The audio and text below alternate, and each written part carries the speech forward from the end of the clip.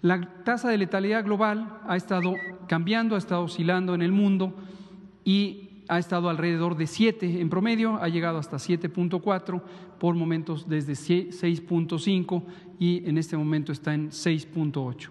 Notamos que la región europea va disminuyendo día con día la cantidad de personas que presentan eh, COVID, mientras que la región de América sigue subiendo. Esto es la proporción que representan del total de casos en el mundo.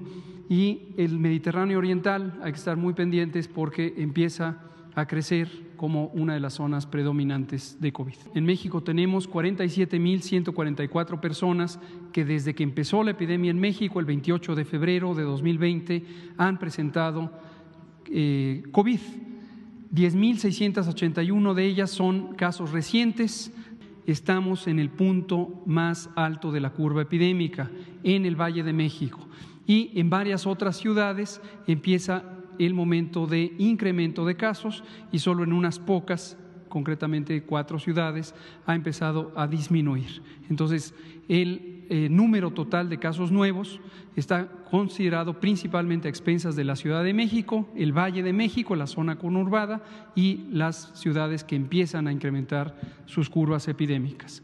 Desafortunadamente, 5.045 personas han perdido la vida por las complicaciones de COVID y 169 mil han sido estudiadas en todo este periodo, resultando en 92.544 que fueron estudiadas y resultaron negativas. No tenían COVID, aunque tenían los síntomas característicos de COVID, que son comunes a varias otras infecciones respiratorias.